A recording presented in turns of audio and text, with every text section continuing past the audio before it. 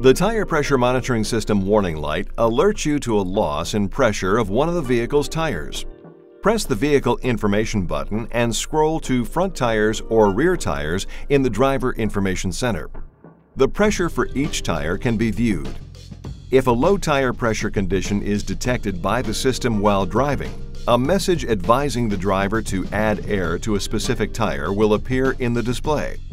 Stop as soon as possible and inflate the tires to the recommended pressure shown on the tire loading information label, located on the inside of the driver's door opening.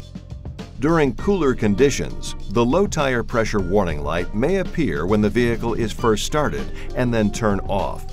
This may be an early indicator that the tire pressures are getting low and the tires need to be inflated to the proper pressure.